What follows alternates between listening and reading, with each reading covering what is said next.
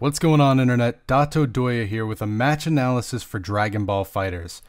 If you want to watch the video we'll be analyzing today without my commentary, you can go over to YouTube channel page RNK Squad. The video is titled Epic Match, and really guys, go over there, give them a like because this match is insane. Before we go into the match though, I do want to talk about their teams. If this part doesn't interest you, I understand, that's totally cool. Just jump ahead to this time that's on your screen. Uh, no worries, we'll get right into the combos soon enough. Right away, we're going to take a look on the team on the left side of your screen with user over RNK playing Goku, Frieza, and Trunks. While Goku is his point character, I think it's more important we take a look at who he's using as his assist, as he's going to be using them in combos throughout the match.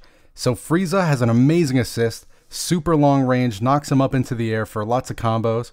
And Trunks also does something similar. He comes out on the ground and provides like a mid-air knockup. You'll see it in the match. Trunks also has a lot of uses as a pivot character for coming in, doing a lot of damage quickly, and then switching out to somebody you think could handle the situation you're dealing with better. So Frieza obviously is more for cases that are long range, and Goku is probably for cases that are more medium to close range.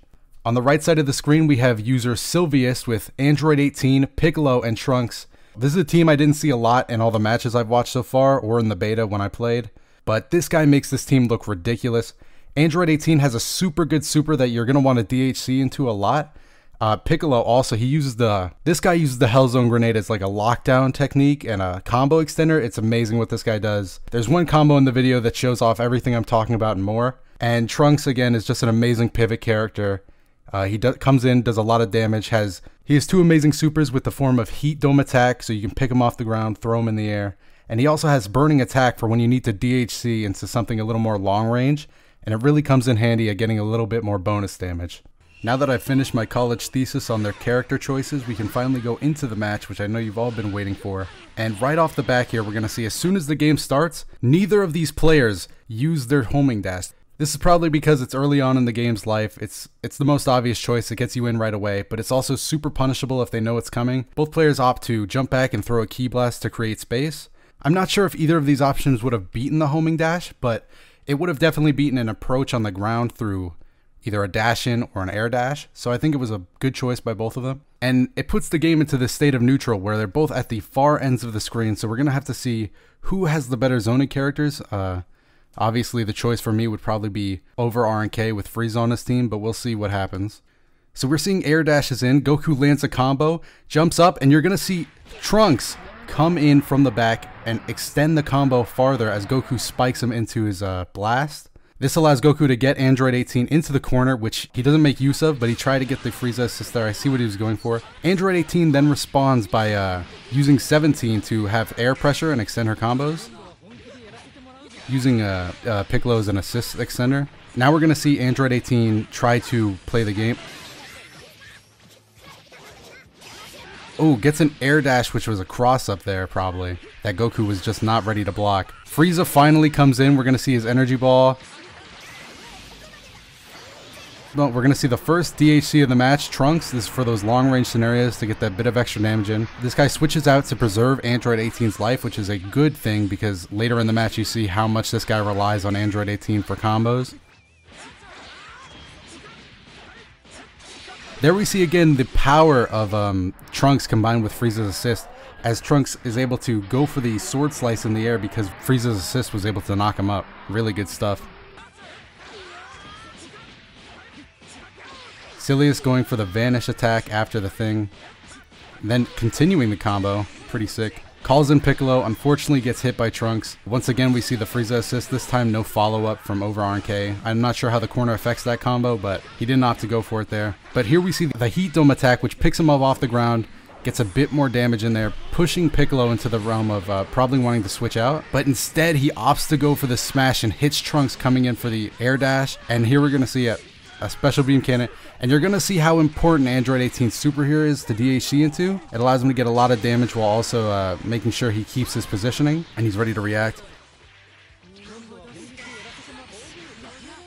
Frieza is going to show off his zoning here with his Death Slicers. Got to make sure to duck because they do come back. Uh, unblockable, so he probably has to jump or duck them.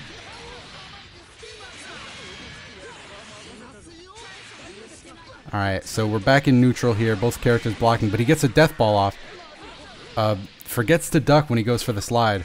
got hit by an overhead, another one, and a Kamehameha. Ooh, this guy, this guy's getting eaten alive by Death Saucers here. But lands a smash attack and on Goku, so we're to see a lot of damage here on both of them. Go gets the slice, and that's Goku out of the game there. So Goku did not do a lot other than at the beginning. But this combo is ridiculous. Look at the health that Frieza's taken off. Uh, unfortunately, he does land the Death Ball and takes out Trunks. And Piccolo also gets uh, some damage done to him there.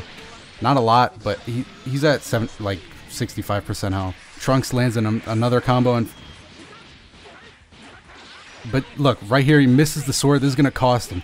This guy has been practicing with Piccolo, lands an amazing combo, extends it in the air, uses the Hellzone grenade as a pickup, calls in Android 18 for the DHC Super, and then as the Hellzone grenade picks him up, goes into level 3, and that was the, uh, I don't know, speechless. That combo was insane. It doesn't kill. Kind of ridiculous that it doesn't kill, but also I really like the pace that Dragon Ball FighterZ moves at right now. So I'm not sure if I want them to change the scaling, but it's definitely something to take into consideration. So now we see just a lone Piccolo here, so he's going to want to burst soon uh, when he takes enough damage. Uh, Frieza is still alive, and I want to talk about how important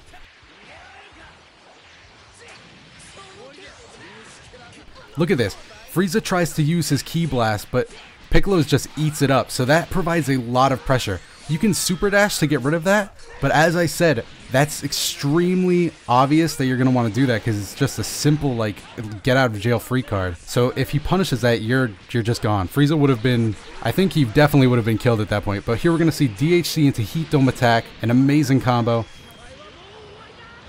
Doesn't kill Piccolo though, so we're just going to see as he gets up, get off of him, he bursts. But we see a burst get off, resets it back to neutral, where Trunks definitely has the advantage over Piccolo. He created a fireball there, but Frieza took it out with the assist, and that's it.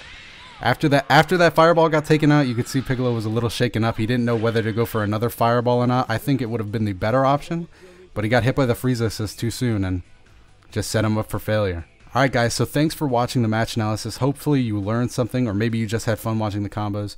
Again, please go back to user RNK's channel and make sure you give him a like because this match was absolutely insane. Really showed off the potential for high level play in this game. And yeah, guys, thanks.